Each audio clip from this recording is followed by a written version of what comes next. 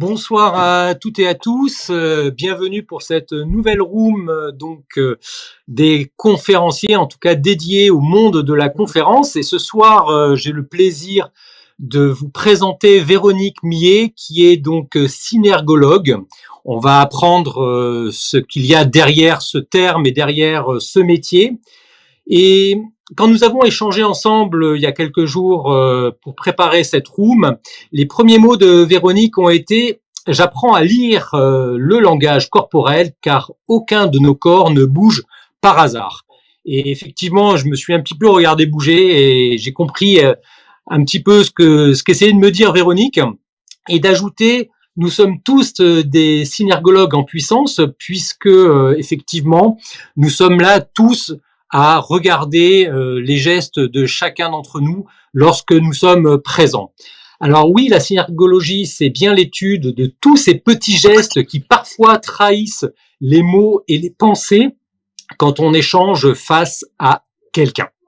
Et Véronique, en travaillant sur cette expertise au contact de juristes, de commerciaux, de professionnels de santé ou encore de politiques, euh, se lance dans la conférence et elle va nous expliquer comment. Alors ce soir sur Clubhouse, réseau 100% audio, Véronique va relever le défi de parler de synergologie sans visuel et sans geste. Et donc je vais te céder la parole. Bonsoir Véronique. Bonsoir Sylvain, merci euh, pour l'invitation. Et euh, je suis euh, fin prête euh, pour partager mon, mon regard et, et, mon expertise sur ce fameux terme synergologie qui, pour certains, veut rien dire à cette heure-ci, mais qui voudra dire beaucoup, j'espère, à la fin de mon intervention. Très bien. Alors justement, synergologie, on va faire un petit peu d'étymologie. Ça vient de, de, de, quel terme en fait? Alors, il y a la notion d'ensemble et il y, a il y a deux notions. Il y a la notion d'ensemble et il y a la notion de mouvement. Et euh, un, un, synergologue, c'est quelqu'un qui va s'intéresser euh, au mouvement du corps, mais pas n'importe quel mouvement, tous les mouvements mi-conscients. Et ça, c'est un élément important. C'est-à-dire quand tu te grattes euh, euh les, les, yeux parce que tu es euh, fatigué, euh, tu, tu, es conscient de, de ça. C'est un geste qui ne m'intéresse pas. Par contre, dans notre échange que l'on a là et quand je te regarde, et si à un moment donné ton corps va se mettre à bouger, eh bien, il y a peut-être un geste qui va m'interpeller et euh, qui va susciter une question chez moi et qui va me permettre de te faire exprimer un non-dit. Et justement, c'est derrière ces non-dits, plus on comprend effectivement euh, toute cette euh, toute cette mécanique hein, de la synergologie, plus effectivement on, appréhende les, les, conversations avec d'autres euh, de façon plus pertinente en fait. C'est ça. C'est comme si tu avais au, au, niveau de ta tête sur le côté un bouton on et un bouton off. Et euh, ce bouton off, ben, c'est quand tu es en mode en mode repos. Et quand je me mets en mode synergologue, euh, eh bien, je développe une écoute et, et un œil beaucoup plus pertinent. Et puis avec l'expertise, avec l'expérience d'un synergologue, il s'avère qu'à un moment donné, on voit un geste et, et ce geste-là, il, il, est clairement euh, fait euh, parce qu'il y a quelque chose qui peut-être te dérange ou, euh, ou il y a quelque chose que tu n'oses pas exprimer. Et, euh, et ce travail de synergologue permet de mettre carrément le doigt dessus. Alors effectivement, ça s'exprime euh, dans nos vies quotidiennes, mais également dans des milieux très variés, hein, comme euh, les milieux juridiques, les, les milieux commerciaux. Hein, euh, il y a visiblement pas mal de, de, commerciaux qui utilisent la synergologie pour justement mieux appréhender euh, ben, une action commerciale. Euh, les, dans le milieu des les médecins, dans le milieu de la santé et également dans le milieu politique. Donc c'est tous ces milieux-là que tu euh, que tu touches en fait. Alors, tous ces milieux-là, et puis, et puis tous les autres, à partir du moment où on a une relation interpersonnelle. C'est-à-dire que tout professionnel, à partir du moment où il échange avec quelqu'un, euh, un synergologue peut, euh, peut jouer un, un, rôle important. On, on a parlé euh, des, des, politiques, mais on pourrait parler euh, du côté aussi euh, policier, juridique. Quand tu as quelqu'un face à toi qui est potentiellement accusé, un synergologue va apporter une réelle valeur ajoutée parce qu'il va savoir quoi observer ou quand observer et, et, de manière à pouvoir questionner et à pouvoir faire dire la vérité mais peut-être aussi des choses qu'on n'avait pas totalement envie euh, euh, d'énoncer et qui vont permettre à terme, eh bien, euh, de se dire tiens, il n'est pas très transparent et ça nous invite à aller plus loin dans, dans, dans la recherche. Donc ça, ça, ça intéresse tous les métiers.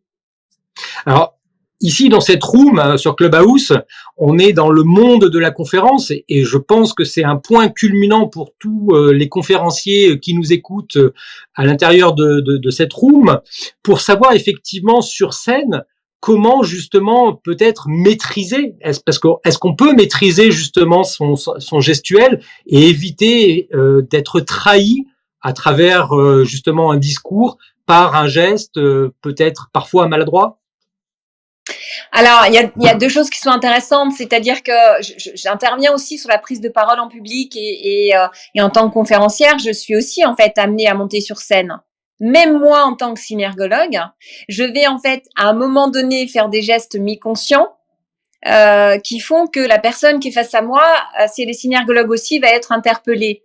Donc, mon rôle en tant que synergologue sur des conférenciers est de vous expliquer euh, la lecture de certains gestes, mais je ne peux pas les empêcher parce que je rappelle, ils sont mi-conscients. Par contre, lorsque je vais te voir, euh, Sylvain, intervenir, ou que je vais voir, euh, par exemple, Philippe Boulanger ou Régis Rossi ou autre, et que je vois à un moment donné un certain geste, eh bien, ce geste-là va m'interpeller. Par contre, aussi, je ne pourrais pas le questionner puisque tu es sur scène. Moi, je suis à distance, je vois ce, geste et, euh, et comme il n'y a pas de questionnement, il n'y a pas d'expression du non-dit. Et justement, est-ce qu'on peut en jouer justement de, ce, cette gestuelle pour avoir une, double lecture sur scène, c'est-à-dire une lecture à la fois gestuelle et une lecture verbale? Alors, je pense qu'il faut pas confondre en fait euh, euh toute, toute la gestion de l'espace, la prise de parole en public, avec ta gestuelle sur lequel tu vas être en adéquation entre ton langage corporel et, euh, et ta voix, ta tonalité et, l'occupation de l'espace. Un synergologue, il, il va s'intéresser à, à des gestes cachés dont tu n'as pas réellement conscience. Euh, un exemple. Par exemple, euh, tu euh, as tendance à remonter très régulièrement ton épaule droite. Peut-être que ça vous fait penser à quelqu'un lorsqu'il prend la parole, quelqu'un qui a une certaine visibilité.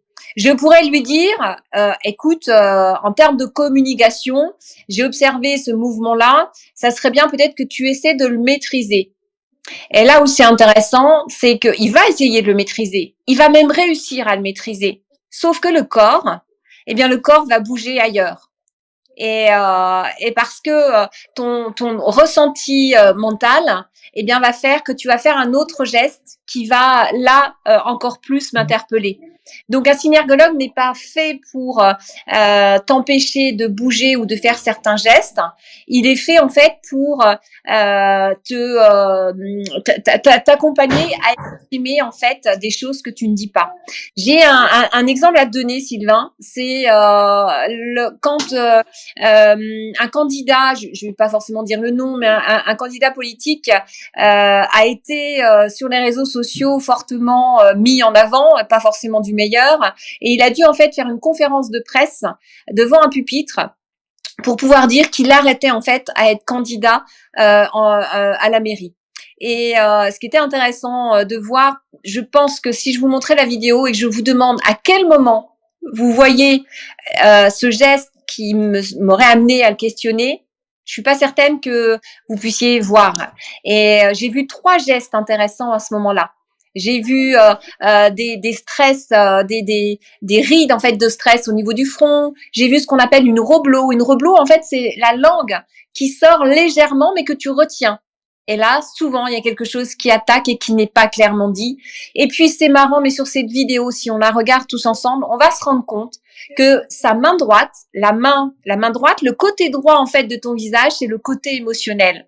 À un moment donné, quand il parle de sa famille, eh bien, la main droite se met à bouger, euh, notamment, en fait, l'index sur l'autre doigt. Et ces trois éléments-là m'interpellent et me disent qu'à un moment donné, tout n'est pas forcément dit. et que si j'étais face à lui, je le questionnerais et je suis sûre que j'en saurais plus sur ce qu'il est en train de ne pas vouloir me dire. C'est ça un synergologue en fait. Donc tu te rends compte que entre un, conférencier ou un homme politique ou n'importe qui qui est sur scène et le synergologue, le synergologue est à distance.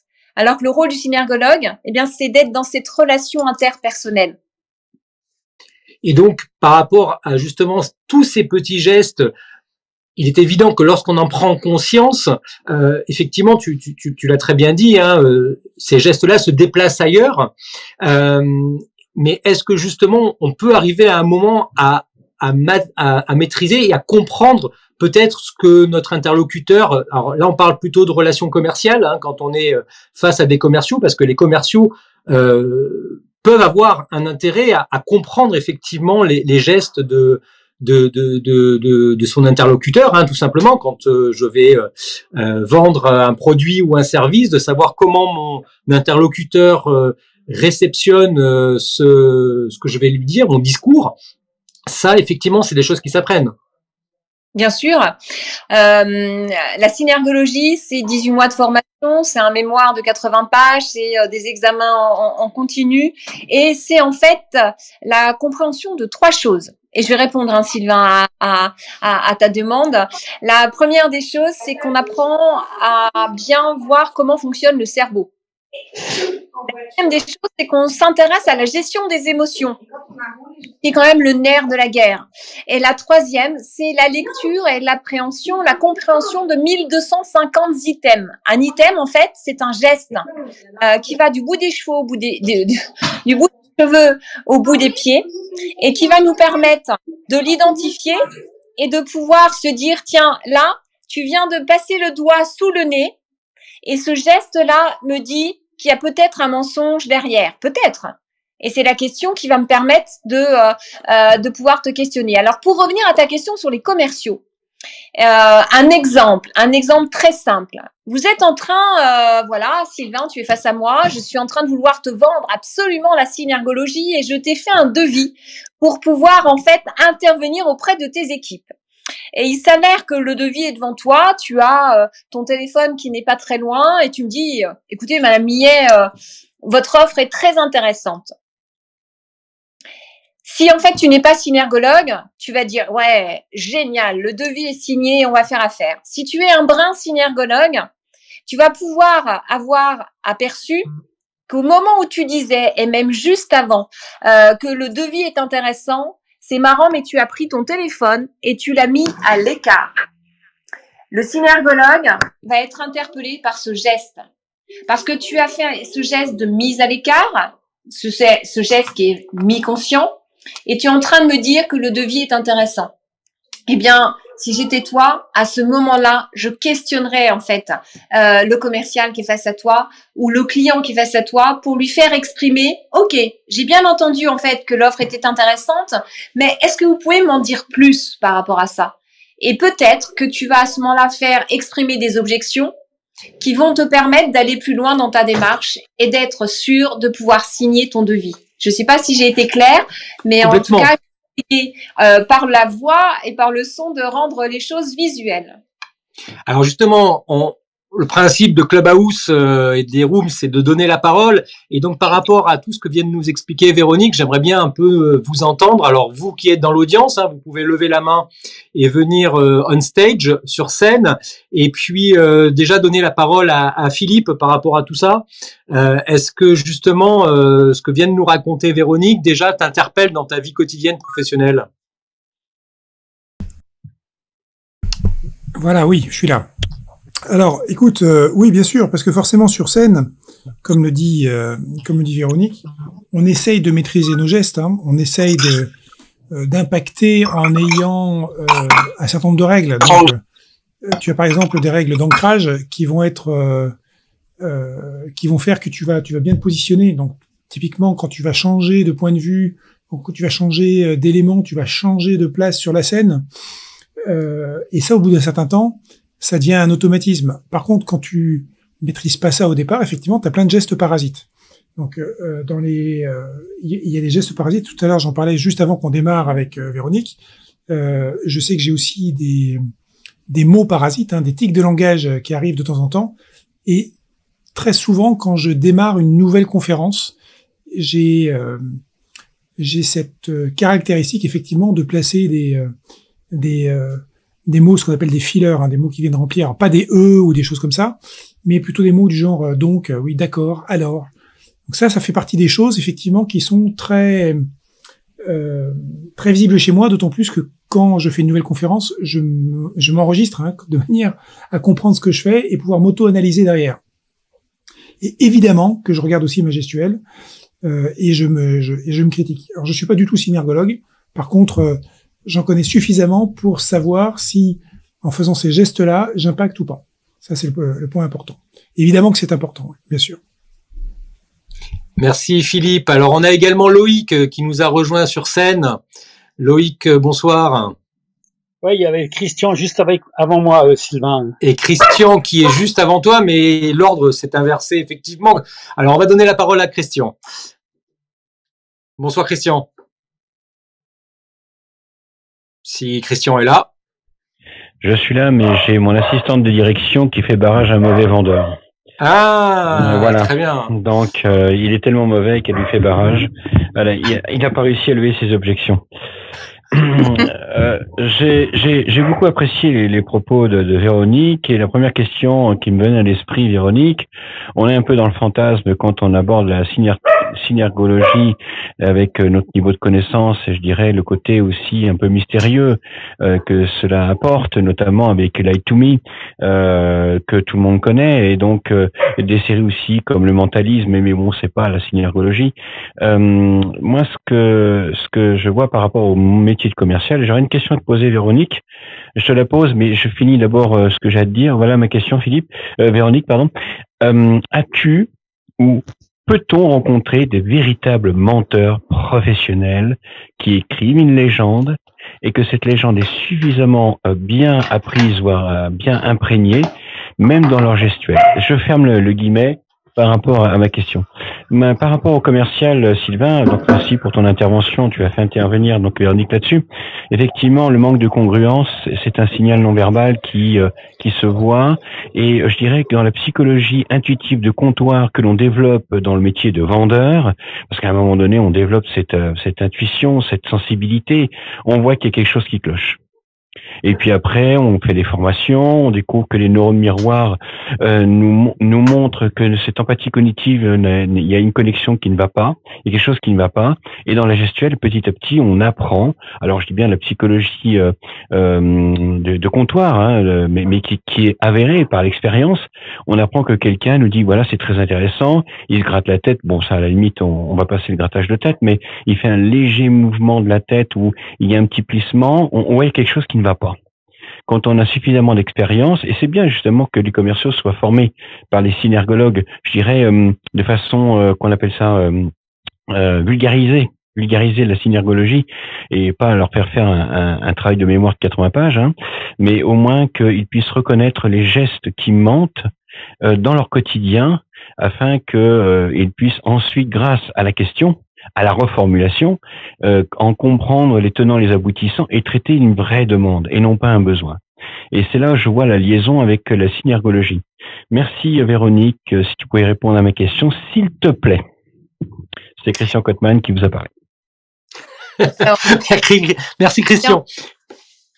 Euh, le, le, premier point, Christian, euh, la, la, parenthèse, oui, les menteurs professionnels. Euh, c'est marrant, mais ça me fait penser tout de suite, euh, ça, ça, ça euh, fait venir dans, dans, dans, mon cerveau une image qui sont les joueurs de poker qui sont de vrais menteurs professionnels. Et dans le cadre de ma formation, on a en fait observé ces joueurs de poker qui bien souvent vont mettre des lunettes de soleil pour pouvoir en fait cacher leurs yeux et euh, de manière à pouvoir être beaucoup plus pertinent. Et eh bien malgré tout, euh, là, nous sommes en, audio, mais je pourrais vous montrer plusieurs vidéos de joueurs de poker qui sont des menteurs professionnels et, euh, qui me permettraient, à un moment donné, de trouver en fait des micro-gestes qui vont pouvoir mettre le doigt ben, sur ce bluff en fait derrière. Et donc ça veut bien dire, et ça reprend ce que je disais tout à l'heure, c'est-à-dire qu'on peut maîtriser certains gestes, le corps, vous allez pouvoir le maîtriser, mais il y a certains gestes que vous ne réussirez pas parce que c'est bien l'adéquation en fait du corps et du mental et de l'émotion. Il y a cette trilogie. Ensuite, euh, par rapport à, ce que tu disais, Christian, il y a aussi un élément dont j'ai pas parlé qui est très intéressant, qui est l'homéostasie. L'homéostasie, c'est l'équilibre du corps. Euh, là, je suis assise, tout va bien, et donc je ne bouge pas parce que mon corps est en, mode équilibré. À partir du moment où euh, il y a un stimuli extérieur qui me perturbe, eh bien, ce stimuli, en fait, va faire que mon corps va bouger. Je reviens sur un commercial, par exemple, où euh, on me pose une question et ça me met mal à l'aise parce que je sais que techniquement, peut-être, j'ai pas la capacité de répondre. Eh bien, c'est marrant, mais là, mon corps va se mettre à bouger. Mes palpitations vont augmenter, peut-être euh, que euh, je vais avoir le bout des mains un peu plus frais, un peu plus parce que je suis quelque part un peu mal à l'aise et mon corps bouge à ce moment-là. Et c'est là où c'est intéressant de regarder quelle partie du corps qui bouge, parce que cet équilibre en fait physiologique de, de mon corps a été déséquilibré de par une question auquel là pour le coup je n'ai pas forcément de réponse. Donc il faut savoir que le corps ne bouge pas par hasard. Quand il est équilibré, il est en mode, ben je suis assise confortablement dans mon fauteuil, je suis face à un client et ok, euh, je vous pose une question et vous me répondez. Sauf qu'à un moment donné, eh bien, il faut savoir que le geste anticipe euh, les mots. Donc le langage corporel, et on a longtemps cru le contraire, et je suis d'accord euh, sur ces neurones miroirs, sur la connaissance du cerveau euh, qui nous permet, euh, avec certes un petit peu d'intuition, de voir des choses. Mais entre voir les choses et savoir quoi voir et à quel moment les voir, c'est ce qui fait la différence entre un très bon commercial, et j'ai quelques bases dans le commerce aussi, et un synergologue. Donc un synergologue, c'est quoi observer et quand observer pour pouvoir bien questionner euh, derrière. Et euh, pour euh, aller pour aller plus loin parce que parce que j'aime donner et je suis convaincue en fait de ce que je je, je, je vous partage ce soir. Je vais vous partager en fait la théorie de l'ours. La théorie de l'ours, en fait, euh, je vous emmène avec moi dans la forêt. Et il s'avère que dans notre promenade, euh, Sylvain et moi, nous sommes positionnés là, juste en face. Nous avons un ours énorme.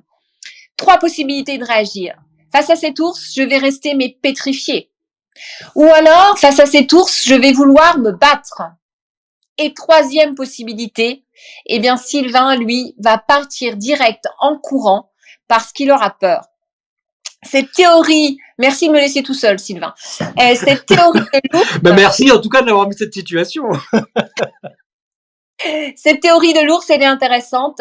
Elle permet juste de montrer, lorsqu'on est confronté à une situation, est-ce que vous oh, j'ai peur, il faut que je cours, ou est-ce qu'en fait vous prenez la fuite tout de suite et vous vous dites j'ai eu peur. Eh bien, bien souvent, dans cette théorie, on va se rendre compte que le corps s'est exprimé en premier, il a pris la fuite, et ensuite, on a eu seulement, en fait, le ressenti de l'émotion.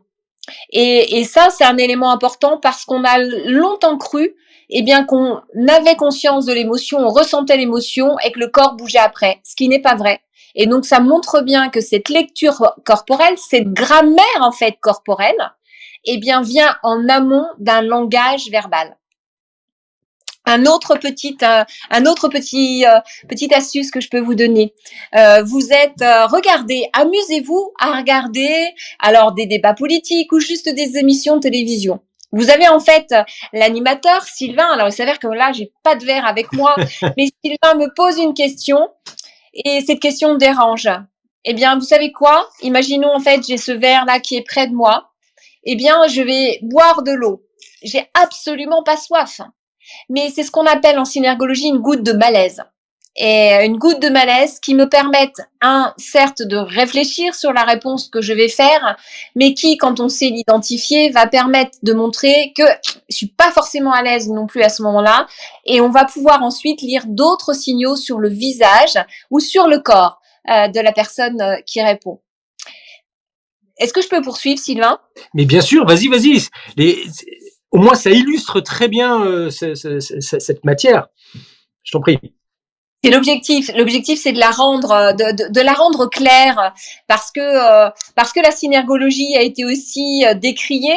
Euh, C'était à la base une méthode. Aujourd'hui, c'est une discipline. Et avec Philippe Turchet, c'est en train de demain, ça sera une science.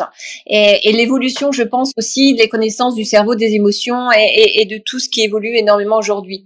Euh, un synergologue va lire en trois temps il va déjà lire la statue en fait du corps global de la personne que l'on a face à soi. Je reviendrai Christian sur un des points qui est intéressant aussi qui m'a interpellé.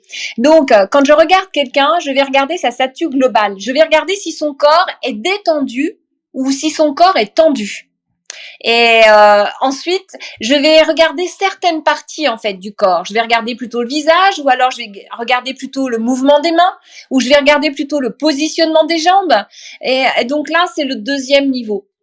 Et dans ce deuxième niveau, si je m'intéresse à regarder le visage, eh bien, on a plus de 60 points en fait de, de, de, de, de touches sur le visage. Je vais pouvoir identifier un item.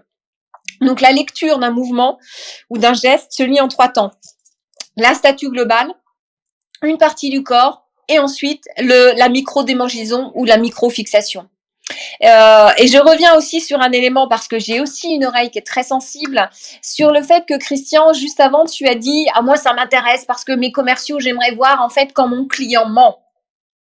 Et bien encore, j'enlève tout et je suis juste là pour vous dire qu'un synergologue n'est pas là pour savoir si vous mentez, mais un synergologue est là pour aller chercher la vérité.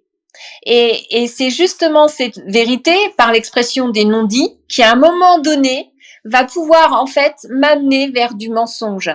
Et euh, pourquoi? Parce que le rôle d'un synergologue, c'est de positionner une relation interpersonnelle dans une position gagnant-gagnant c'est bien un petit peu ce qu'on cherche dans une dans une relation commerciale, c'est d'être en phase d'égal à égal. Et c'est là où c'est pertinent d'utiliser la synergologie, parce que je disais, je, suis aussi juste un brin euh, un brin commercial et juste un brin communicante, et que moi mon ah, on a on t'a perdu euh, Véronique. Quand je vends mon, mon, mon, mon métier, c'est de me positionner par rapport au prospect en, en face à face, position gagnant-gagnant. Le fait d'être synergologue en plus aujourd'hui, c'est d'identifier en fait des mouvements qui vont me permettre de, de pouvoir repositionner l'autre dans une bonne communication d'égal à égal. Et c'est là où c'est pertinent. Et là, je ne parle pas de mensonge. Et pourtant, la synergologie a du sens. Parfait, Véronique. Euh, Merci. Je pense que Christian, tu as eu pas mal de, de réponses. Ben oui, je, je, note cependant que mes propos et ma question ont presque fait l'émission et je tenais à m'en féliciter. Voilà. Mais d'ailleurs, pour l'autre partie de l'émission, on, on, va céder la parole à Loïc qui a certainement des choses à nous dire là-dessus parce que connaissant euh, le personnage, je sais bien que Loïc a, a également euh, un avis là-dessus. Loïc, à toi la parole. Ouais. Je sais pas si, si je peux poser deux questions. La première et la suivante, c'est que je, je, me demande s'il n'y a pas un espèce de biais qui, qui dépend de nos spécialités pour chacun d'entre nous. Je prends un exemple. Toi, Véronique, tu es synergologue, donc spécialiste de l'analyse du non-verbal. À côté, je regarde Victor Ferry, qui lui est un spécialiste de la rhétorique, de l'art de prendre la parole. Et lui, euh, si, je, si je regarde ce qu'il a, a mis comme vidéo dans lesquelles il prend la parole, il y en a deux qui s'appellent l'arnaque de la communication non verbale et le deuxième, c'est en finir avec la communication non verbale. Donc, je voudrais avoir ton sentiment sur ce que les rhétoriciens tels que Victor disent de la synergologie. Euh, en fait, il la critique, comme tu disais tout à l'heure, il y a un certain nombre de détracteurs. Donc euh, voilà, ça c'était ma première question. J'en ai une deuxième tout de suite derrière. C'est je suis moi dans la vente, dans le commerce depuis des années, et en général, je n'ai jamais vraiment pratiqué effectivement euh, ce que tu appelles la synergologie, mais je me demande si par moment le fait de s'intéresser autant aux, aux, signaux non verbaux de notre interlocuteur ne nous empêche pas de vraiment bien l'écouter et de vraiment bien comprendre ce qu'il nous a, ce qu'il a à nous raconter, plutôt que d'essayer de décrypter ce qui va te permettre derrière de entre guillemets, non pas de le manipuler, mais pourquoi pas, tu vois, voilà. Donc c'est mes deux questions un petit peu critiques, j'en suis désolé aujourd'hui. Mais c'est un plaisir. mais euh, mais c'est un plaisir euh, d'y répondre. Et euh, euh alors, comme toute chose nouvelle, il y a, y a, c'est toujours critiqué au, au, départ. La dernière fois, j'ai une journaliste de elle qui m'a interviewé et, euh, et forcément, je pouvais me dire, bah tiens, je vais faire attention un petit peu à, à ce que je vais lui dire, à ce qu'elle va me poser et au papier qui va être écrit, euh, parce que toute chose nouvelle, à un moment donné, dérange.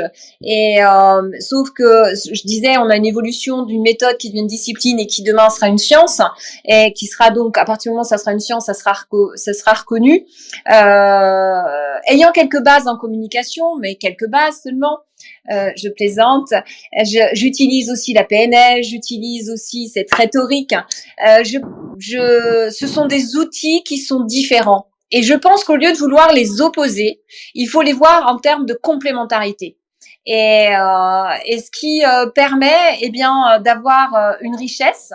Et, et, par rapport en fait ce qui m'amène à amener au, au, deuxième point je le vois vraiment comme une richesse parce que parce que je dis bien je connais ces autres outils et, et je les utilise. Non pas pour manipuler mais pour donner de la pertinence de la force au message que je souhaite faire passer et, et, Dieu sait, quand on est conférencier, c'est important d'aller chercher, d'envoyer une émotion pour pouvoir la réceptionner et faire avoir cet effet feedback. Alors, sur ce côté, en fait, euh, manipulation et, et on perd le contact avec l'autre euh, quand on utilise trop euh, ces outils et, et, pourquoi pas la synergologie. Pour le coup, je suis pas d'accord parce que parce qu'en fait, je suis pas en mode en, en mode on tout le temps. Et puis un synergologue ne s'intéresse pas à regarder tous les gestes mi-conscients. Un synergologue, et là je vais donner un terme que je n'ai pas utilisé encore jusqu'à maintenant, apprend à voir passer des ballons. Et euh, lorsque j'interviens en conférence, euh, j'utilise une vidéo.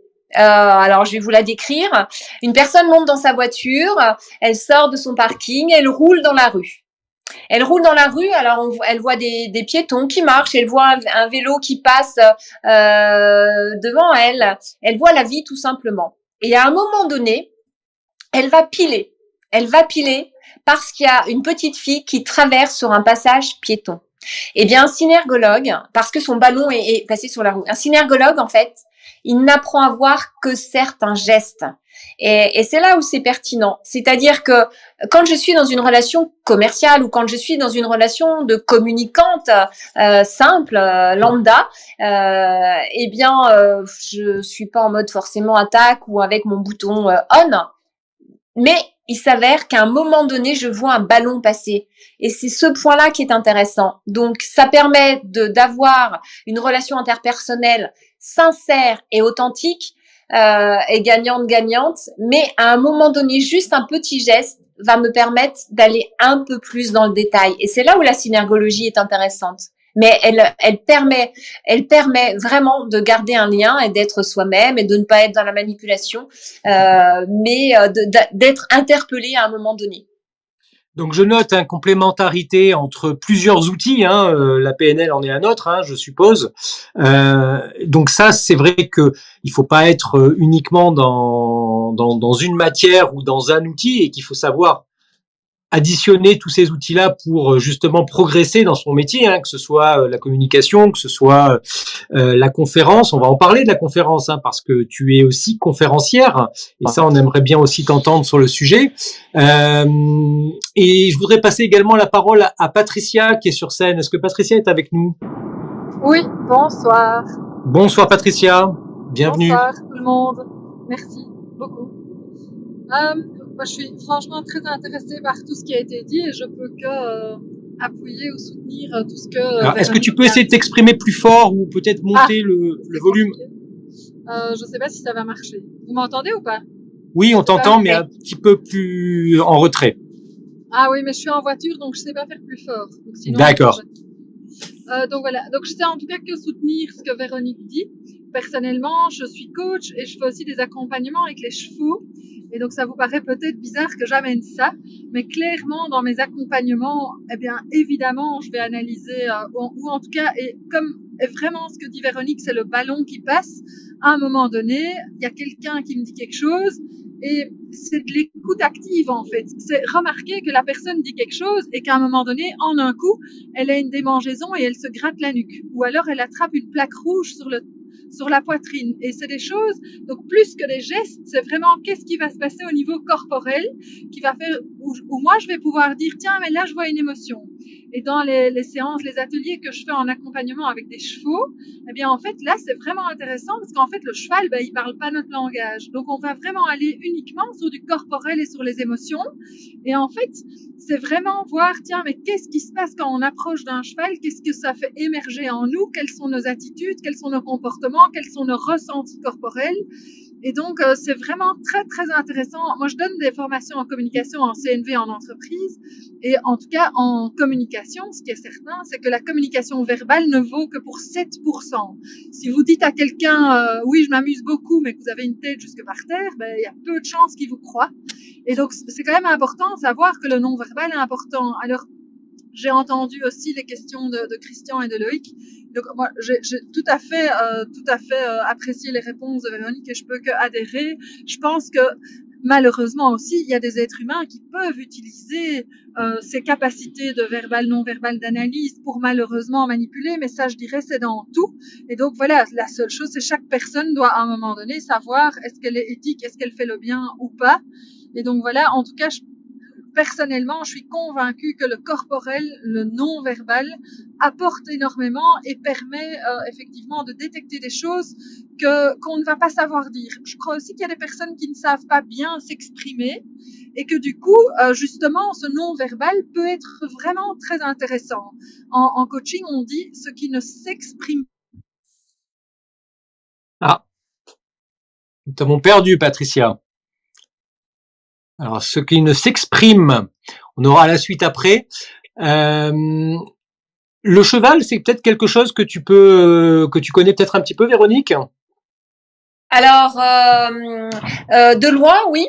Euh, ceci étant, ça me permet ça me permet en fait de, rebondir sur euh, sur euh, les animaux euh, sur les animaux, euh, quand on parle de neurones miroirs tout à l'heure, les neurones miroirs, eh bien, on les, on les a aussi découverts à travers les singes.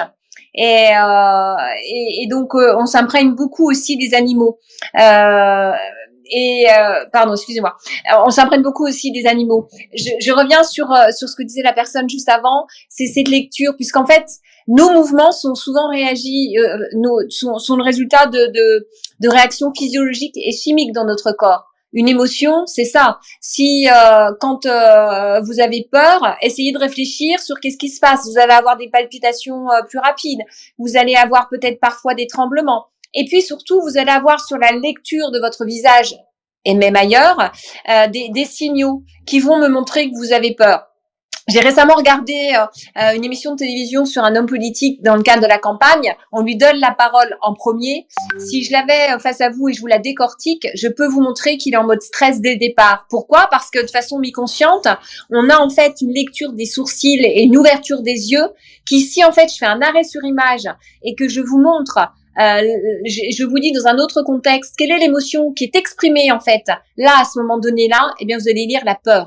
Et, et, et c'est ça en fait qui est intéressant euh, d'aller voir. Ce sont toutes les réactions physiologiques, chimiques qui se passent dans notre corps et qui vont s'exprimer à travers ce langage corporel. Donc, euh, donc voilà.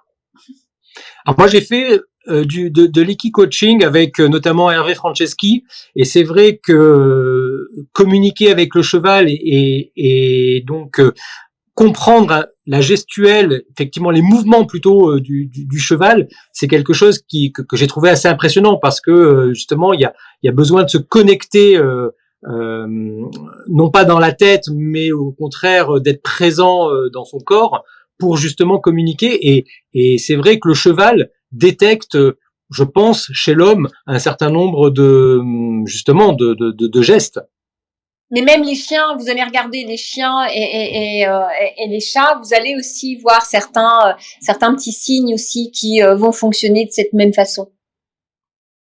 Alors nous avons également Pascal qui est avec nous et Pascal qui, je crois, connaît bien le monde politique à travers sa voix.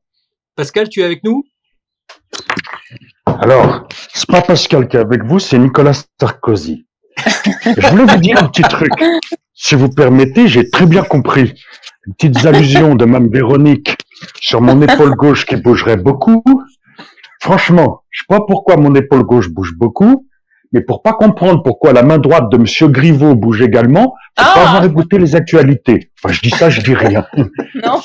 Euh, donc voilà, je, j'ai les- je- Nicolas avait un petit truc à dire. Mais euh, bonsoir à toutes et à tous. Euh, Merci Pascal pour à cette intro. Avec plaisir. Comme ça, on a dit les noms, hein, parce qu'ils étaient assez évidents. Euh, J'avais une question. Je, la cyanurgologie, je m'y intéresse depuis euh, depuis un moment. J'ai lu euh, des bouquins, tout ça. Je suis aussi ce que dit Olga. Euh, euh, je connaissais pas encore Véronique, mais très content de découvrir. Et puis, il y a plein plein de choses très très intéressantes. Il y a juste un point, moi, sur lequel euh, j'ai des, ah, je sais pas, des doutes ou quelque chose comme ça c'est par rapport à la question de la partie gauche du cerveau et la partie droite du cerveau, où on dit, bah voilà, on montre plus son côté gauche du visage, alors c'est euh, c'est la partie droite du cerveau, donc l'émotionnel qui serait en action et, et inversement. Et les dernières découvertes des neurosciences nous disent assez clairement que euh, cette répartition gauche-droite, émotionnelle à droite et, et logique à gauche, elle est euh, elle est pas vraie, quoi. Enfin, vraiment, c'est réparti sur les deux hémisphères. C'est vrai que le langage serait un peu plus à gauche. Voilà, mais et puis, euh, en fait, c'est des connexions entre les deux parties du cerveau. Et donc, je, je- j'adore vraiment quasiment tout ce qui est dit dans la synergologie, mais euh, je, je, je mets vraiment en doute cette ce côté-là de euh, la partie droite du, enfin, on monte son visage côté droit, alors c'est qu'on est dans le dans le raisonnement logique. On monte sa partie gauche du visage, alors c'est qu'on qu'on est dans l'émotionnel. Voilà. Donc j'aimerais avoir euh, j'aimerais avoir un peu plus de détails là-dessus, Véronique. Peut-être que c'est plus nuancé que ça en fait. Alors, J'ai un point là-dessus si tu veux, Pascal. Ouais. Vas-y euh, Philippe.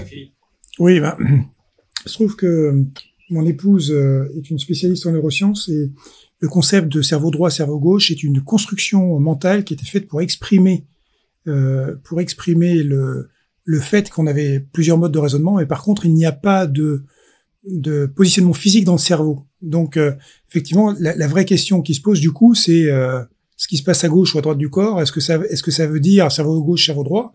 Ben, Normalement, non. Voilà. Donc, euh, et c'est marrant parce que cette image cerveau gauche, cerveau droit qui a été faite pour vulgariser le fait qu'on avait différents types de raisonnement euh, est devenue comme une sorte de réalité euh, pour pour beaucoup de gens. Véronique là-dessus? Je, je- je pourrais Alors, rajouter un truc. euh, euh, Oui, j'entends aussi ces, ces remarques et euh, euh, ceci étant, je pourrais vous montrer en fait la, la formation d'un synergologue repose sur euh, une base de données énorme de lecture de l'ensemble de tous les gestes mi-conscients. Et euh, je ne pourrais pas le montrer ici, mais si je vous montrais toutes les vidéos sur l'ensemble des gestes, euh, ça confirme bien qu'on a, alors quand même, euh, il faut savoir que dans le cerveau, le cerveau va, va, va avoir plusieurs connexions à un moment donné, mais on va avoir quand même une gestuelle qui euh, euh, va être quelque part beaucoup plus émotionnelle. Donc sur la partie gauche en fait de, de, de la, la main gauche hein, et, euh, et euh, qui est plus liée à quelque chose de personnel, à quelque chose qui m'est interne.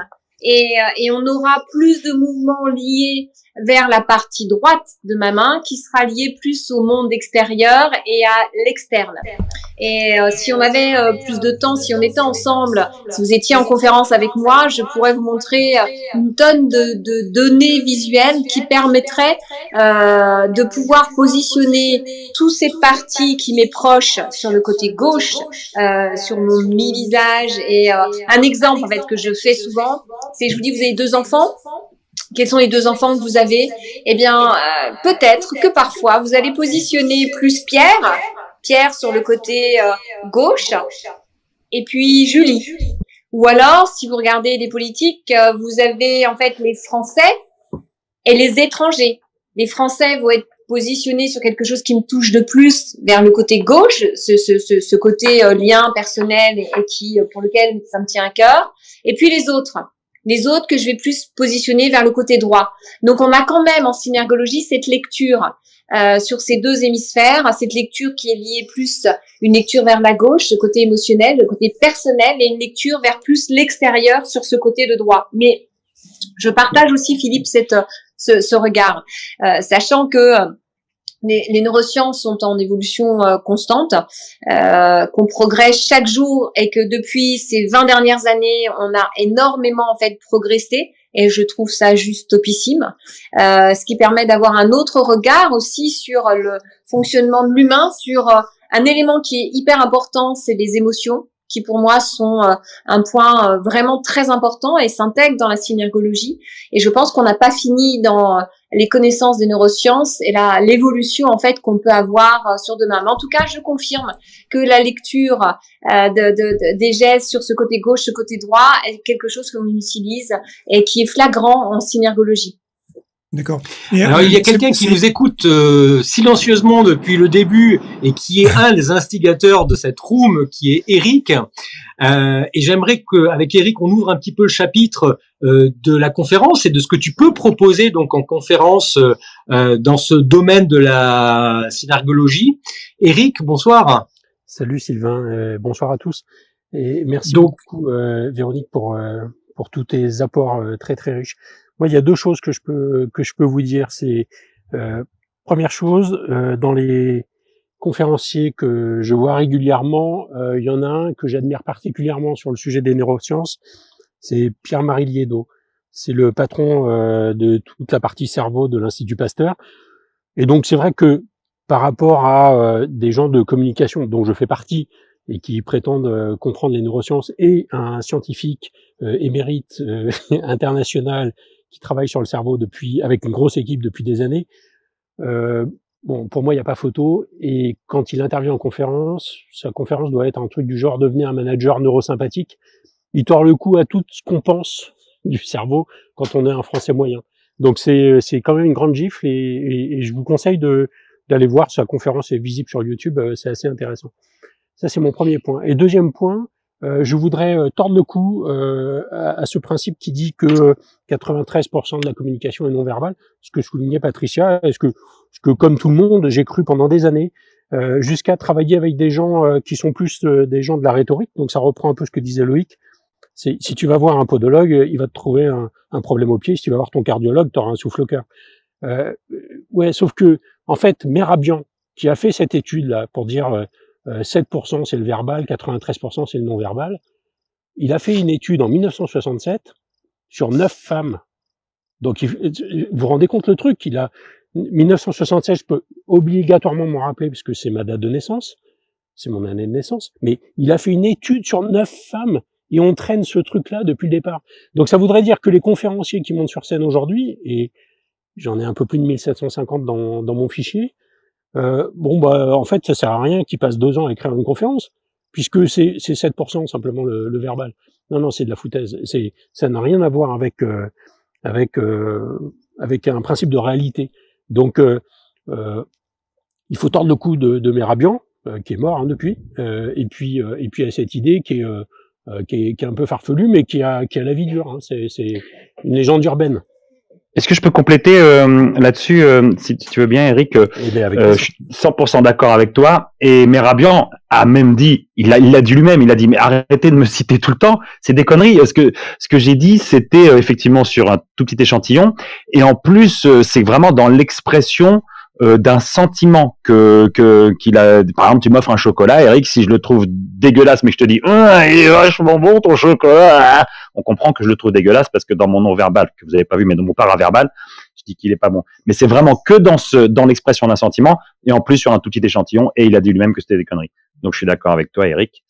Et voilà, je fais mon micro. Alors moi, je vais prendre la parole parce que je partage à 20% euh, euh, ce que vous êtes en train de dire. Je suis, euh, je suis communicante de, de, de métier. Et, euh, et, à aucun moment d'ailleurs de mon intervention, je n'ai fait référence à, aux chiffres que l'on donne à chaque fois sur des interventions basiques de ces fameux 7% et tout le reste. Euh, ceci étant, la synergologie est un tout autre domaine par rapport à cette communication non verbale. Ou alors c'est un outil qui s'intègre dans notre communication non verbale de par une lecture de gestes mi-conscients. Mais, euh, mais pour moi, ce sont deux choses complètement, euh, complètement. différentes complètement Véronique. Je répondais à Patricia en fait, hein, qui est intervenue. Mais je sais pas, je sais pas ce que vous avez entendu parce que j'étais, euh, j'étais sur la frontière. Oui, ça s'est, ça s'est coupé au moment. France maintenant. Donc je sais pas ce que vous avez entendu, mais je suis passée dans toute autre chose en parlant des chevaux et des sensations et des sentiments. Donc c'est malheureux. Je sais pas ce que vous avez entendu, mais voilà. On a entendu hein, ton, ton, ton sujet sur, sur les chevaux, effectivement. Mais je sais pas jusqu'où vous avez entendu, mais bon, c'est pas grave. Ben, on te laisse réintégrer la, la, la conversation. On était avec euh, Eric et, euh, et, Véronique qui euh, justement débattaient sur cette notion du, du non-verbal, des, des, fameux chiffres qu'on cite de façon un petit peu basique. Et, et, et, et, justement pouvoir rentrer un peu en profondeur sur, cette, sur ce sujet-là. et alors justement, Véronique, sur scène, qu'est-ce que, en tant que conférencière, tu, tu as envie d'exprimer en fait par rapport à, à ce sujet-là? Euh, alors, j'ai envie, en fait, euh, aujourd'hui déjà un de faire comprendre cette synergologie qui est souvent euh, euh, mélangée avec plein d'autres choses. Y a une communication non verbale. Et euh, donc l'objectif, c'est de faire comprendre. C'est aussi de faire comprendre comment nous fonctionnons c'est aussi de sensibiliser sur, euh, c'est une trilogie, euh, la synergologie, je l'ai bien dit, c'est euh, les émotions, le cerveau et le corps. c'est d'essayer de faire comprendre la lecture de ce langage corporel à travers des vidéos. Vous m'avez posé comme question tout à l'heure, est-ce qu'on peut être menteur professionnel? Est-ce qu'on peut utiliser la synergologie pour mentir? Alors, quelque part, je peux vous dire oui.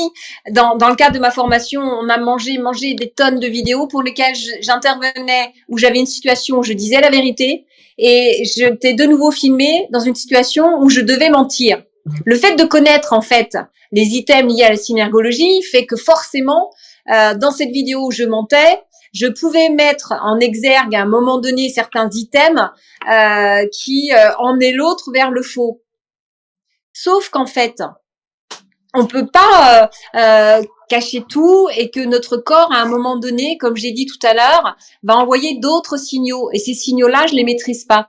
Je pense, euh, par exemple, je pourrais, là encore, et je pourrais, lors de ma conférence, vous montrer, en fait, ce côté factuel des, des, des éléments sur lesquels on a ces lectures d'items. C'est ce qu'on appelle la lèvre de chien.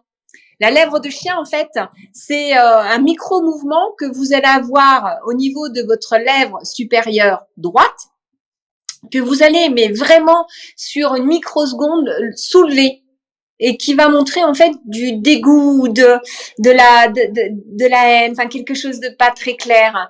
Si en fait vous n'êtes pas formé, ça vous ne le voyez pas. Et, et dans dans ce, ce geste-là, en fait, je vais vous montrer plein de petits petits éléments qui vont vous permettre de changer votre regard. Il y a un élément que je vous ai pas dit tout à l'heure euh, lors d'une conférence, c'est que euh, je me mets en situation dans, dans différentes positions et, euh, et je vous demande ce que vous avez observé vous allez me dire euh, bah euh, j'ai rien vu moi hein, d'exceptionnel.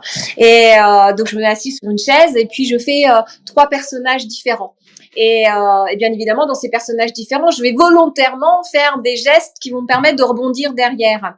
Et et tout ça pour vous montrer qu'à la fin on est tous des synergologues en puissance.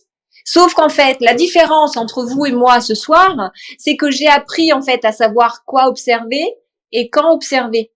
Et, euh, et, donc du coup demain, si je vous forme euh, dans le cadre de métiers de ressources humaines, de politique, de commerciaux, de juristes, de médecins même, un médecin, en quoi c'est intéressant qu'il soit formé à la synergologie?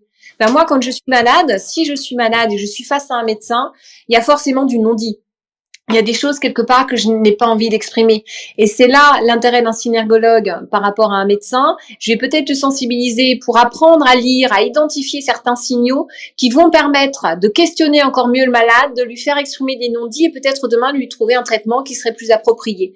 Donc ce que je voulais, ce que je veux montrer quand j'interviens, c'est que nous sommes tous des synergologues en puissance. C'est un de faire comprendre, c'est de montrer des situations et, et quand on sait observer, eh bien, on sait questionner. Et il y a un élément qui est hyper important, c'est l'art de questionner dans le rôle du synergologue pour pouvoir créer vraiment une relation de gagnant-gagnant, d'authenticité. Alors justement, quel est ton public actuellement euh, par rapport euh, à ton audience, par rapport euh, aux conférences que tu as la possibilité de montrer peut-être à la rentrée ou dans les mois qui viennent? Mon public, ça va être euh, bah, d'organiser, enfin d'intervenir sur des, des séminaires, euh, des séminaires d'entreprise avec, par exemple, des directeurs d'agences, des commerciaux, euh, des DRH. euh, des gens qui sont dans la formation, puisque quand on est, euh, on, anime en fait une salle et euh, en tant que formateur, on a besoin d'avoir cette lecture-là à un moment donné. Parce que certes, je transfère, mais il faut que j'emmène aussi les personnes là où j'ai envie de les emmener. Et s'il y a quelqu'un qui exprime à un moment donné un geste que je ne sais pas identifier, peut-être que je vais le perdre dans le cadre de ma formation. Donc, euh, donc c'est euh, de pouvoir un m'adresser aux entreprises et de pouvoir, de par une interactivité, euh, les sensibiliser pour pouvoir les rendre captifs. Donc, donc c'est tout type d'entreprise euh, avec lesquelles les salariés sont en relation interpersonnelle avec avec des clients, mais aussi ça peut être euh, des, des, des, des, interventions en, en, au sein d'une même entreprise sur tout ce qui est communication euh, interne. Euh, ça peut être un PDG, un dirigeant, euh, de manière à, à, à passer ces messages de façon plus pertinente. Enfin voilà, un public assez assez large. Et d'ailleurs, sur cette période que nous venons de vivre, tu as, dû intervenir en visioconférence. Et est-ce que justement l'exercice euh, en visioconférence euh, est quelque chose qui est pertinent justement sur ton expertise? Alors là, c'est la conférencière qui parle. Euh, oui, il y a.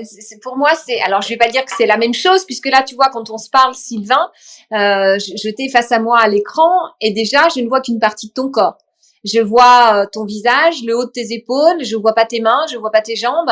Euh, donc oui, forcément, ça change euh, quelques quelques éléments. Voilà, merci. Et ça change quelques éléments, mais sur le visage, je peux déjà lire beaucoup de choses et euh, qui vont être des signaux pour moi et qui vont m'aider en fait et pouvoir t'accompagner. Donc c'est différent, mais mais c'est totalement possible. Parfait. Il y a Olga également qui est avec nous sur scène et à qui j'aimerais donner la parole. Bonsoir Olga. Excusez-moi, j'ai oublié de, de mettre le micro en C'est pas grave. Bonsoir à tous. Donc Olga, par rapport à tout ce qu'on vient d'écouter, comment tu te positionnes par rapport à cette expertise-là? Euh, bah déjà, je voudrais dire à Véronique euh, que je la connais pas, mais que je trouve qu'elle parle très bien. Donc euh, voilà, ça c'est déjà voilà. Après, je, oui, j'avais envie de, m'exprimer, en tout cas de, de, donner deux trois éléments par rapport à, puisque vous parlez de synergologie. Euh, moi, je veux juste vous dire que moi, j'étais diplômée en 2007, donc euh, je faisais partie de la première euh, promotion de synergologue. Euh, à Paris, on était trois exactement. Donc, euh, j'ai, je sais pas si j'ai essuyé les plâtres ou quoi que ce soit, mais en fait, euh, ensuite, euh, d'un côté, c'était très pratique parce que c'était pas connu, et d'un autre côté, c'était très difficile parce que c'était pas connu. Moi, depuis, j'ai travaillé pendant huit ans avec la police judiciaire, donc j'ai une expérience de terrain importante qui m'a permis beaucoup, beaucoup de relativiser ce que j'avais appris j'ai fait euh, presque plus de 200 interventions à l'APM et euh, je fais une quarantaine de conférences par an. Euh, je vous dis ça dans le sens où c'est pas pour du tout me mettre en avant, mais plutôt pour vous expliquer que j'ai beaucoup de mal, et j'espère Véronique que tu le prendras pas mal. Euh, moi, j'ai beaucoup de mal à mettre en avant le terme synergologie. Je préfère, et on le voit partout, que ce soit sur des articles ou sur mon site internet, euh, je, je parle de langage corporel. Parce que pour moi, euh, quand j'ai été diplômée de cette discipline, c'était une discipline et ensuite elle est devenue une marque commerciale. Et là, j'ai eu beaucoup de mal avec cette euh, philosophie de, de marque. Et j'ai jamais eu envie de, euh, comment dire, de, de, de, devenir un peu comme la VRP d'un business qui appartient à quelqu'un d'autre. Et, et, euh, et aussi, j'ai beaucoup de mal avec ceux qui alors c'est pas ton cas, Véronique, mais ça a été le cas et je pense que tu, tu en conviendras, à beaucoup de personnes qui manquent d'expérience, qui sont euh, euh, soit qui sont, se sont auto-formées, soit qui sont euh, tout nouveaux diplômés et qui euh, sont euh, des excités de, du décortiquage à tout va et qui finalement vulgarisent trop et, et, et, sont à la à l'origine de beaucoup d'idées reçues en fait. Et, et c'est ça, je trouve, qui nuit un peu à à aucun moment, euh, Véronique l'a dit très bien, euh, bon, je, je t'ai pas vu en conférence, Véronique, mais tu dis que tu parles jamais justement euh, des pourcentages. Moi non plus. Euh, on n'a jamais dit ça. L'idée, c'est de comprendre comment fonctionne le corps. Et ça, c'est un outil formidable. On a quand même du mal je trouve, dans notre société, euh, à mettre, à, à donner de l'importance au corps, en fait que ce soit dans les signes ou dans les manifestations physiologiques, euh, on, on, a quand même beaucoup de, de, on met en avant beaucoup l'intellect et pas beaucoup le corps. Bon, voilà, j'avais juste envie de d'exprimer ça entre autres. Je vais, Véronique, euh, tes réactions. Oui, alors, alors moi je ne suis pas la commerciale de en synergologie. J'ai, euh, je suis la commerciale de moi-même. Euh, je suis quelqu'un qui est naturellement curieux et pour moi, la synergologie vient enrichir un parcours euh, qui est lié. Euh, j'ai trois yeux en fait et mon agence s'appelle Triptyque parce que j'ai un œil qui est dédié à la communication, j'ai un deuxième œil qui est dédié au commerce et j'ai un troisième qui est dédié au marketing. Pourquoi je me suis intéressée un jour à la synergologie? Parce que c'était un mois d'hiver et que je m'ennuyais un dimanche et que je suis allée sur YouTube. Euh, j'aime beaucoup le développement personnel et je lis énormément dessus et je suis tombée en fait sur une Canadienne qui parlait de synergologie. De là, j'ai rebondi, je suis arrivée à Paris et euh, à l'institut de synergologie. je me suis dit tiens c'est intéressant et ça pourrait être complémentaire à ce que je sais déjà et surtout ça pourrait m'enrichir avec un œil critique, un œil curieuse et une volonté d'apprendre. Et c'est ce qui m'a permis d'aller plus loin. Par rapport en fait à la promo, hein, moi je suis euh, toute jeune, ça se voit pas, mais je suis toute jeune euh, diplômée puisque j'ai un peu plus d'un an en fait en tant que synergologue. Beaucoup plus euh, en termes de communication et d'intervention en termes d'ateliers de, conférences. Euh, je suis une des rares à, à vouloir aujourd'hui euh, faire comprendre en fait la synergologie et je pense que c'est important quand même de, de, garder ce terme de synergologie parce que la communication non verbale est, est, peut être à un moment donné un fourre-tout et, et que euh, parce qu'on pourrait parler de PNL et, d'analyse transactionnelle, on pourrait parler de plein plein plein d'autres choses. Donc je pense que c'est important quand même de garder ce terme de synergologue et puis puis quelque part de l'assumer et de l'affirmer parce qu'il fait appel à, à, à, une méthode. Moi mon objectif c'est un de le faire comprendre. Alors attention, hein, je ne suis pas médecin en neurosciences et je ne le serai jamais. Ce n'est absolument pas mon, mon objectif. Mais euh, mais en tout cas c'est de pouvoir un faire comprendre qu'est-ce que la synergologie et de pouvoir à un moment donné l'intégrer dans une communication. Une communication, ok, sur lequel on va être sensible sur une communication non verbale. Et, et je pense, euh, et ça c'est mon regard, non pas de synergologue, mais euh, euh, de, de, par mon métier, que ça peut apporter une belle valeur ajoutée euh, dans l'ensemble des échanges qu'on peut avoir interpersonnels. Et c'est pour ça que, euh, ben voilà, étant communicante, aujourd'hui, forcément, je, je, fais partie du bureau en fait au niveau de la synergologie j'ai cette conviction, cette volonté de euh, euh, de vouloir la faire comprendre avec ma capacité justement d'être conférencière, euh, d'utiliser des mots simples, d'utiliser des images pour faire comprendre et montrer qu'à un moment donné, ben, ça a peut-être du sens de l'intégrer en fait dans son quotidien et sa façon de communiquer avec les autres. Merci Véronique. Alors, il nous reste une petite demi-heure euh, ensemble puisque l'objectif c'est de de nous amener jusqu'à 20 heures tranquillement. On conclura euh, un tout petit peu avant avant 20 heures. Euh, S'il y a d'autres personnes qui sont euh, dans dans l'audience et qui veulent monter, qui veulent s'exprimer, il suffit de lever la main et de et on vous invitera sur scène bien entendu pour vous exprimer. Euh, par rapport justement au, monde de la conférence. Alors justement, je me posais la question euh, combien de synergologues il y a euh, conférenciers, conférencières? Est-ce que ça c'est quelque chose que tu sais, Véronique, ou peut-être Olga? Alors, il y, a peu de. Déjà, je trouve qu'on n'est pas nombreux hein, euh, en tant que synergologue. On, on, on, a à peu près 300, 350. Euh, dans ma promo, à titre indicatif, euh, euh, il y avait beaucoup de personnes qui intégraient ça dans un métier. C'est-à-dire, j'avais deux avocats dans ma promo, j'avais un assureur, j'avais un, un organisme de, dans le recrutement. Et donc, ils vont intégrer la synergologie dans leur métier. Donc du coup, ils ne seront pas conférenciers. Euh, J'en ai identifié certains, notamment sur LinkedIn, qui sont en fait conférenciers euh, en synergologie, mais bien souvent, ils ne font pas que ça. Ils font des conférences ou plutôt de la formation euh, dans tout ce qui touche à communication euh, verbale euh, ou non verbale.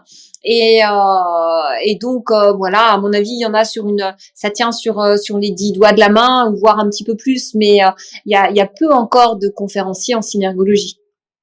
Olga, ton sentiment là-dessus? Euh, bah écoute, euh, moi je, euh, excuse-moi, j'ai perdu le fil. Bah, des conférenciers, conférencières spécialisés en dans le langage du corps. bah écoute, alors écoute, moi moi je parle pas de synergologie, hein, vraiment, je, excuse-moi, mais moi je suis pas conférencière en synergologie, mais plutôt en en, en, communication non verbale, j'insiste. Et donc, euh, bah écoute, euh, je ne me connais pas, c'est peut-être prétentieux, mais bon, autant être authentique. Je me connais pas vraiment de, de, de, de concurrence. D'accord. Non, mais sans parler de concurrence, hein, parce que bon, le sujet est vaste et je pense qu'un conférencier a la capacité de, de s'exprimer. Un, un, euh, un, conférencier qui, qui, qui euh, a exactement le même thème euh, que moi.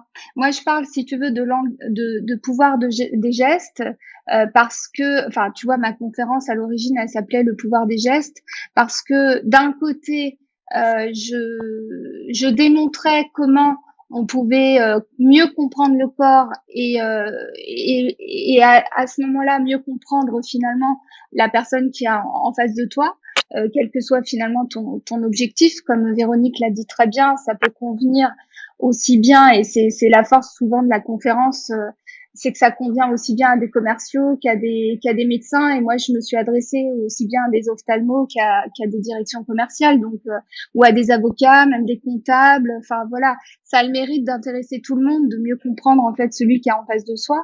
Euh, et, et, en même temps, euh, j'aime aussi sensibiliser les, les, personnes sur le fait que euh, ton corps peut aussi influencer ton mental.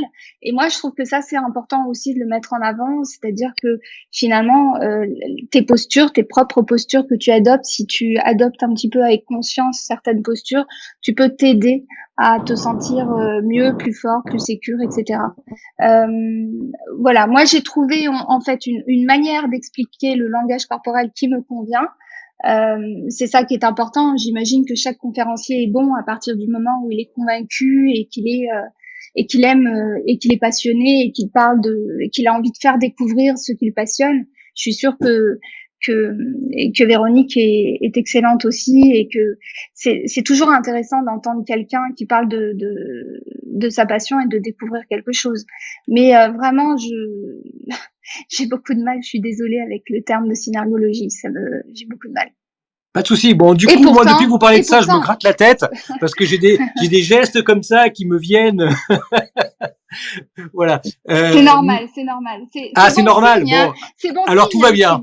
C'est-à-dire que tu, tu vis, tu vis je, je, partage un, un, un élément euh, qui là, à mon avis, si euh, on a plein de conférenciers euh, euh ce soir vont valider, c'est euh, on peut passer le même message, mais après c'est la conviction et l'émotion qu'on y met qui vont faire que on va capter l'attention et, euh, et, et on va emmener le public là où on veut l'emmener.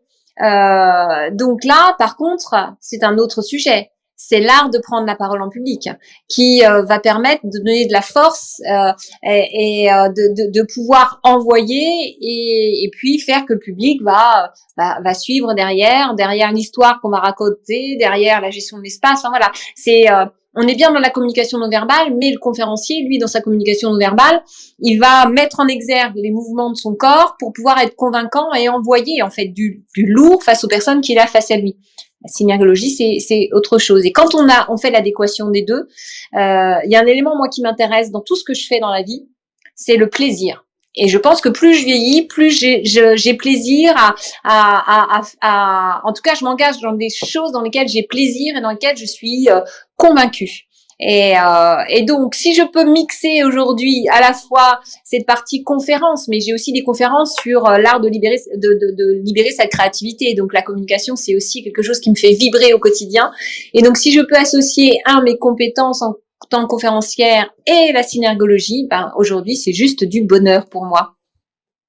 Parfait. On a également Thomas qui nous a rejoint sur scène. Euh, bonsoir Thomas. Bonsoir à tous. Je, je, me suis permis de lever la main et de, de monter. Euh, J'ai entendu pas mal de choses intéressantes et, et, je voulais revenir sur un point qui fait souvent débat euh, parce que on, on oppose euh, que ce soit la synergologie, j'avoue que je connais moins, euh, mais la communication non verbale et la PNL notamment euh, sont souvent qualifiées de pseudosciences et, et c'est un débat assez amusant quelque part parce que pour la PNL, tout du moins, moi j'ai été formé par un monsieur euh, qui, est, relativement illustre parce qu'il fait partie des, des, trois personnes qui se sont attachées à développer, à faire connaître et à populariser la PNL qui s'appelle Robert Dills. Et donc, euh, ce ne sont pas des gens qui se sont attachés à, à, donner une validation scientifique à la PNL, ce sont des gens qui avaient un état d'esprit pragmatique, qui sont appuyés sur euh, des résultats et qui ont développé ces disciplines-là en validant euh, par, par une culture du résultat ce qu'ils faisaient. Et euh, bien souvent, c'est mon regard en tout cas, la science s'attache à la traîne, à essayer de démontrer scientifiquement avec des études comme celle que Eric a citée tout à l'heure, qui est une étude effectivement qui a reçu validation scientifique à un moment donné, mais qui a été faite sur un panel de neuf femmes, euh, quelque chose. Et à partir du moment où il y a une revue qui est faite, à partir du moment où il y a un rapport, ça jouit d'une validité scientifique. Bon, on a longuement cru que la Terre était plate, et puis à un moment donné, euh, on a su déterminer qu'elle ne l'était pas. Voilà. Y a, du, du, point de vue de la science, en fait, les choses n'existent pas tant qu'elles sont pas validées. Néanmoins, du point de vue pratique, elles existent à partir du moment où on arrive à en ressentir les effets. Et, et je rejoins tout à fait Olga sur sur euh, sur son propos. À partir du moment où euh, on voit, on sent les choses, on peut en faire l'expérience nous-mêmes tout de suite dans notre salon, dans notre bureau, peu importe. Et en matière de communication non verbale, effectivement, on a la possibilité de démontrer des choses très très simplement, euh, notamment l'influence euh, de de la respiration, du mouvement physique, de certains gestes, de certaines postures sur l'humeur. On peut, euh, euh, par exemple, si, certains d'entre vous ont des enfants, vous pouvez faire une expérience assez amusante. Si vos enfants se mettent à pleurer, demandez-leur de, de regarder en l'air, du côté gauche ou du côté droit, et vous allez voir que très rapidement les pleurs vont cesser. Donc, il y a tout un tas au niveau de, la physiologie, il y a tout un tas d'éléments qui euh, conduisent, peuvent véritablement euh, euh donner des, des, des, effets qui sont absolument instantanés parce que il y a une, une forme de boucle cybernétique, en tout cas une boucle systémique qui euh, fonctionne de concert. Je dirais comme ça très simplement que la la physiologie du corps va influencer euh, va influencer tout le champ émotionnel et ce champ ce même champ émotionnel va influencer toute la sphère psychique, toute la sphère des pensées. Et comme c'est un système, ça marche dans les deux sens. C'est un peu comme les vélos à pignon, euh, à pignon fixe. Vous pédalez en avant, ça va en avant. C'est le même mouvement pour aller en arrière. Si vous commencez à bouger vos représentations, vos pensées, vos images mentales, vous allez créer instantanément d'autres émotions. Et ces émotions vont changer le rythme de votre respiration, vont changer la posture du corps, et ça, ça va être instantané. Donc effectivement, il y a tout un tas d'éléments sur la, la, dimension du non-verbal qui sont pris en compte. Je, je l'ai dit tout à l'heure, je connais moins la dimension de la synergologie. Ce que je peux vous, ce que je peux vous partager, c'est que sur la, sur l'approche de la PNL, euh, on ne part pas sur bien des choses, on ne part pas avec des absolus. Par exemple, sur ces histoires de latéralisation du cerveau, effectivement, ça fait ça fait très très longtemps que c'est admis qu'il n'y a pas de latéralisation précise gauche-droite, mais plutôt des zones dédiées à des fonctionnalités. Euh, et l'autre aspect pour pour terminer là-dessus, euh, c'est que on va pas avoir les mêmes câblages neurologiques si effectivement on a un gaucher en face de nous ou un droitier. Je parlais des mouvements des yeux par exemple qui sont pourtant très généralisés. Eh ben il y a certains individus, des ambidextres, des gauchers, sur lesquels il y a des inversions. Donc, on ne part jamais d'un principe absolu. Ce qu'on va faire, c'est que dès qu'on va avoir un sujet en face, sur lequel on va interpréter la gestuelle, euh, on va interpréter les mouvements des yeux, on va interpréter les micro-expressions, ce qu'on fait, c'est que euh, on se, on on fait un étalonnage, on fait quelques tests, on met en place quelques tests qui vont permettre effectivement de vérifier certaines hypothèses avant de faire un choix sur la gestuelle, sur euh, sur les regards et sur toutes ces choses-là. Donc je pense qu'effectivement il y a des il y a des il y a des choses qui marchent très bien qu'on peut prouver, qu'on peut démontrer de façon pratique. la science progresse à sa vitesse avec son mode de recherche. Et puis je pense que quand elle le peut, elle, elle amène. Il y a beaucoup de gens qui sont en train de travailler sur ces disciplines-là, sur des validations scientifiques. Mais voilà, ce sont d'autres approches. Il y a des gens plus pragmatiques qui ont, décidé finalement de, de courir un autre cheval et puis d'aller d'aller chercher leur, leur preuve dans le résultat. Voilà ce que je voulais partager avec vous. Eh ben, merci beaucoup euh, Thomas pour ce, ce, témoignage et cette prise de parole. Et euh, je voudrais juste qu'on revienne un petit peu sur cet aspect de la conférence et de ces sujets-là, parce qu'on voit qu'effectivement il y a, il y a quelques sujets critiques et que effectivement euh, certains y voient euh, une science, d'autres y voient effectivement quelque chose qui est en qui est encore en gestation, qui n'est pas encore stabilisé. Moi, j'aimerais interroger nos deux professionnels, euh, donc euh, euh, Philippe, qui est donc président de la FCP, donc des conférenciers professionnels, et Eric des speakers, hein, donc cette agence donc de, conférenciers. Quel est justement l'attrait de cette spécialité-là par rapport à la, à la conférence et par rapport à des séminaires? Comment pouvoir l'introduire? Alors, Eric et, Philippe, je vous interroge tous les deux. Alors, hum, écoute, si tu veux, moi j'y vois un intérêt d'une part pour euh, pour savoir comment je dois me positionner physiquement pour impacter dans une salle, mais aussi pour lire la salle. En fait, euh, quand tu es quand tu es sur scène, tu vas très souvent chercher à t'accrocher à deux trois personnes pour voir comment les gens réagissent à ce que tu dis et pour savoir si tu es dans le juste, si tu dois faire un réglage. je dis ça parce que euh, si, ta, si ta conférence n'est pas réglée au millimètre près, à la virgule près, comme par exemple le frère Michael Aguilar, et que tu fais, t'as, as des parties mouvantes, et c'est mon cas, puisque dans l'innovation, je suis obligé de faire des, des adaptations en permanence, eh bien, il y a des choses qui passent plus ou moins bien. Et donc, arriver à lire la salle, c'est quelque chose d'important. Maintenant, effectivement, je suis pas synergologue, et, et je serais limité, si tu veux, dans ma dans ma capacité à aller très loin. Mais en même temps, je vais essayer de lire la salle dans sa globalité. Euh, et, et, je vais très vite voir si ce que je dis, ça passe ou ça passe pas. Et c'est ça qui est génial quelque part, c'est que moi, je suis en expérimentation permanente. Hein. J'ai, enfin, permanente. Je teste au moins une ou deux choses nouvelles par conférence pour voir comment je peux faire mieux, mieux faire passer les choses. Et là, lire la salle, c'est important. Je rebondis par rapport à, à, ce que dit euh, à ce que dit Philippe. Euh, je pense que vous connaissez Régis Rossi qui intervient euh, sur ces conférences, que je connais, ce que je connais très bien. Et Régis a été formé par une synergologue. Et, et là où c'est pertinent pour lui en tant que conférencier, c'est qu'à un moment donné, il fait monter en fait des personnes sur scène et euh, pour pouvoir les, les, questionner dans le cadre de, de, de, de sa conférence.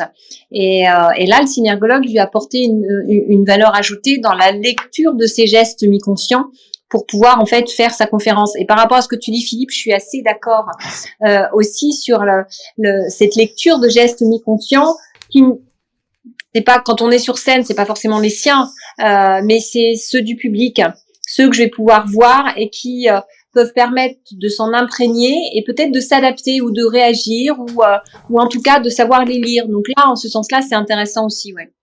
Oui, bah en fait, tout comme Régis, je fais monter des personnes sur scène aussi pour des expérimentations live avec le public. Très bien, un petit peu comme sur euh, comme sur Clubhouse aussi, on fait monter les gens sur scène. Voilà, c'est bon, c'est plus simple hein, sur euh, sur Clubhouse. Eric, ton euh, sentiment sur le dans le monde de la conférence sur justement cette spécialité dont nous parle Véronique depuis le début? Déjà, j'invite Véronique et Olga à s'inscrire sur lesspeakers.com et à proposer leur conférence parce que pour l'instant, elles n'ont qu'une seule concurrente sur 1750 euh, conférenciers, donc euh, il y a de la place sur ce sujet-là. Euh, pour, moi, il y a, y a trois grands domaines, euh, enfin ou trois grandes cibles en tant que conférencier euh, qu'on peut essayer d'adresser. la première, c'est tous les gens qui font, qui s'intéressent à la négociation. Hein. Typiquement, moi, un des grands conférenciers qui m'a donné envie de faire ce métier il y a presque 20 ans, c'est Laurent Combalbert. Et il travaille beaucoup hein, sur ses micro-signes et tout ça. J'ai suivi sa masterclass sur euh, sur la négociation là il y a, il y a une dizaine d'années. Euh, euh on faisait tous ces tests là, un peu light to me, là, ce que disait Christian tout à l'heure. C'était vachement intéressant. Et en, effet, dans la négociation, euh, c'est hyper important que de que d'essayer de lire les, les micro-signes qui sont offerts par la partie adverse. après, il y a tous les sujets de séminaires de communicants.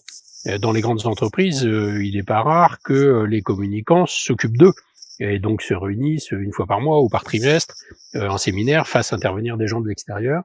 Et ces sujets de, de, de communication non verbale, qu'on les appelle synergologie ou pas d'ailleurs, je je suis pas tellement au fait de, de, du point, mais euh, clairement c'est intéressant pour eux. Hein. C'est, vous êtes vous êtes des, des intervenants euh, potentiels pour eux.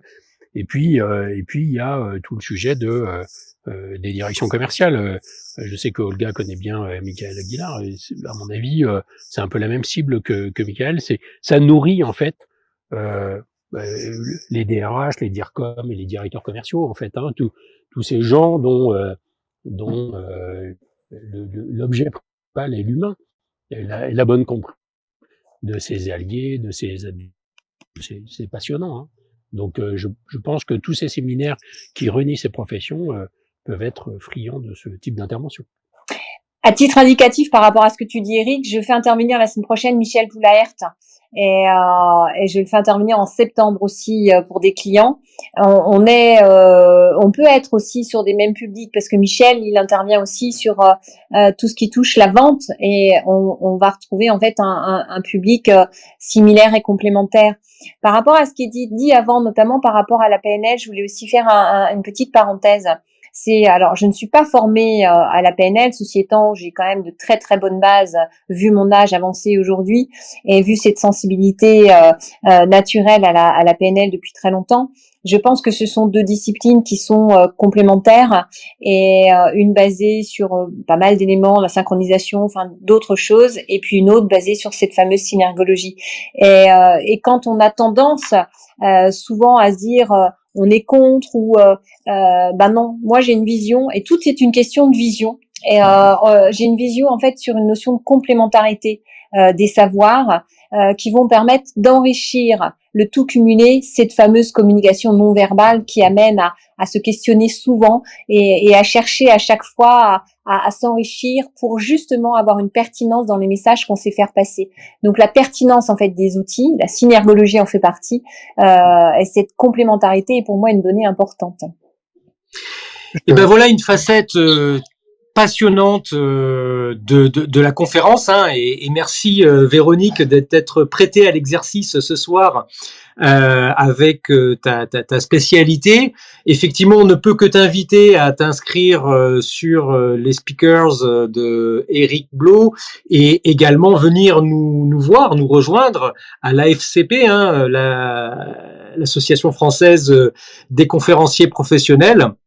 Alors, pour l'instant, en termes d'actualité, Philippe, euh, euh, c'est un peu la pause de l'été pour euh, la FCP. Raconte-nous. Oui, effectivement, c'est la pause de l'été. Initialement, on avait prévu de faire une journée, une journée FCP le, le, 6 juillet. Et en fait, après l'éveil, on s'est dit, OK, on va effectivement se reposer parce que ça a pris beaucoup de ressources chez nous au niveau du conseil d'administration et on, a, besoin de se reposer un petit peu. Donc, on, va faire une pause au niveau de la FCP. On va reprendre le 14 septembre. Euh, la première journée FCP en présentiel normalement. Donc ça va être une véritable journée euh, comme on sait les faire de 9 ou 10 heures du matin jusqu'à 18 heures le soir. On va se retrouver, ça va être ça va être top. Et je rappelle, dans les journées de la FCP, on fait des ateliers, on fait des, conférences tests qui visent à faire grandir euh, les conférenciers et, euh, et surtout qui visent aussi à entretenir notre réseau euh, de conférenciers, puisqu'on c'est un métier où, dans lequel on est relativement seul donc, euh, donc ça fait beaucoup de bien effectivement de se retrouver. Merci Philippe. Donc euh, ben, Véronique et tous ceux et celles qui nous écoutent euh, et qui ont euh, cette appétence à faire de la conférence, ben, venez rejoindre la FCP à la rentrée. on sera très très heureux de vous accueillir en présentiel. Moi je sais que ça me manque aussi beaucoup, hein, toutes ces, ces journées présentielles qu'on faisait. alors je sais pas si ça reprendra dans le 15e à Vaugérard, mais en tout cas on a toujours eu des salles assez sympathiques et assez accueillantes pour justement passer des des belles journées ensemble. Et merci Eric aussi pour l'initiative euh, Les Speakers qui euh, permet effectivement d'avoir une belle plateforme euh, comme tu le disais, plus de 1700 conférenciers et conférencières. Donc, donc voilà, le monde de la conférence bouge. Merci beaucoup. Euh, ben, on va conclure cette émission là-dessus et peut-être donner le, la parole pour le mot de la fin à Véronique. Si tu devais justement, voilà définir ta rentrée 2021, euh, septembre 2021, euh, quel serait ton souhait? Alors pour répondre Sylvain, déjà je dirais double oui. Double oui en fait euh, pour euh, rejoindre les speakers, c'est double oui pour rejoindre la FCP. Euh, ensuite, je dirais un immense merci à Eric, à Philippe et à toi Sylvain pour m'avoir accueilli et aussi à Yann que j'ai dû apercevoir en fait euh, euh, dans, la, dans la room pour m'avoir permis en fait de m'exprimer et de partager ma passion et mon plaisir qui est la communication. Et, euh, et puis septembre, comment j'imagine? Eh bien, euh, eh bien, j'aime avancer avec positivité. Et si je vais me projeter dans les prochains mois, mon souhait, bien évidemment, ça serait euh, de développer une tonne de conférences pour pouvoir euh, semer, semer euh, au, au, gré des semaines eh bien euh, mon regard, mon expertise et ce plaisir que j'ai à, à, à, partager euh, en grand nombre et à jouer aussi euh, parce que quand on est un peu conférencier, on aime on aime jouer avec toute cette communication non verbale. voilà, donc diffuser, positiver et, et réussir. En tout cas, un immense merci. Eh ben, merci à toi, Véronique. Et je laisse le mot de la fin à Philippe qui va conclure avec le jingle final. Eh ben oui, ben donc euh, jingle, comme tu l'as dit. Et bonne soirée à tous. Et bonne soirée. Merci beaucoup. Bonsoir. Merci. Bonsoir. Ouais, merci. Vous étiez très nombreux ce soir. C'est super. Ouais, Et à la semaine prochaine, quand même, au Social Selling Forum, le 7 juillet, avec pas mal de, de conférenciers de la FCP, et Eric Ah, et. Philippe. Je bosse, je Ah, bosse. Et voilà. Allez, on y va. Bonne soirée. Super. Merci.